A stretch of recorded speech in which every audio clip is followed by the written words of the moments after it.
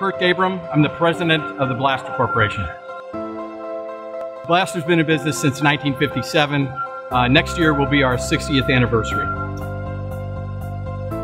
B'laster manufactures a wide range of penetrants and lubricants. Our penetrant PB B'laster is uh, the number one penetrant in the world. Uh, we do all different kinds of lubricants across the board, everything from uh, lithium greases to uh, silicones to multi-purpose lubes.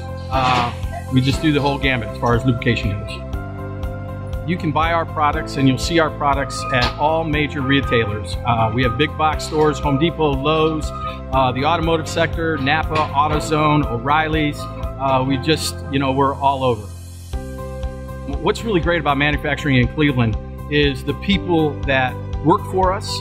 It's a really special place and it's special because of our crew, the guys working behind me. They believe in Cleveland, they uh, are loyal to Cleveland, and we think that we've got just the, gr the greatest talent pool uh, for crew workers right here in Cleveland.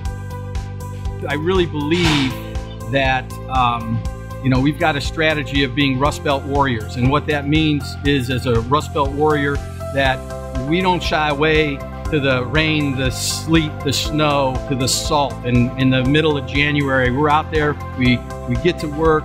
We've got a product that that uh, really combats rusty things, and so we're all the Rust Belt warriors here. My name is Kurt Gabram, and we manufacture CLE.